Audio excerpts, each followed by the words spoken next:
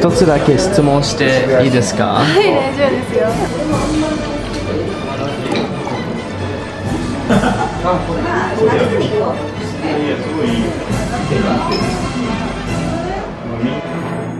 乾杯わナイスなんだ日本酒を飲まない人がお店に来て初めて日本酒に触れるきっかけの場になればいいなっていうのが一応コンセプトなのでいろんな味わいをおしゃれにそうおしゃれにだけどカジュアルに飲んでいただけるような、まあ、そんな場になればいいな Are you excited? Yeah! Wow, I never saw sake in a wine glass. 手軽にこう立ち飲みっていうスタンディングスタイルってりこうチャージがかからないお酒のリストがないんですけどそれはお客さんとこうあえてコミュニケーションをとってどういう味わいが好きなんですかっていうのをこう伺いながらオーダーメイドでその人に対してこうお酒を提案していくようなスタイル。で And, I want to fall in love with sake.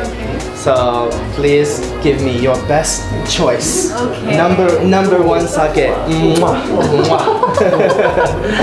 自分が美味しいって思うお酒をこう見つけてほしい I recommend something fruity and light taste Uh, fruity and light taste. I Okay. think I better hmm So when I drink, I say, 本 当に日本酒と自分が向き合えるようななんかそんな風感なんだすっきりしていてすごく人気のあるお酒.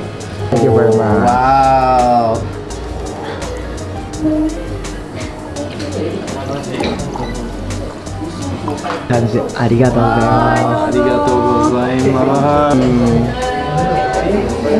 Ooh, very fruity smell. Yeah. I would like to order most Japanese tsumami yes. to have with my sake. Mm -hmm. So something that real local Japanese people order. Uh, what do you think is the best? Squid. squid small squid, yeah. Small squid. Mm. Aburi. Mm.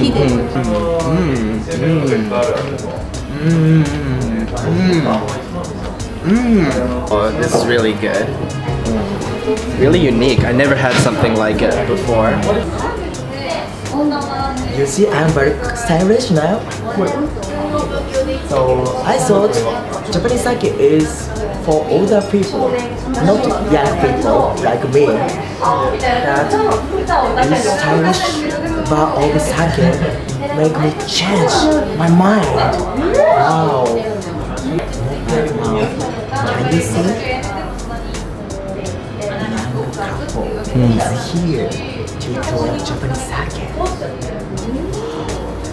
So even though this kind of imitates the Western style of a wine bar, still they keep the Japanese style of a bar where you can have free communication with the people around you, which is something that Japanese bars really value. So it kind of has the best of both worlds, I guess you could say.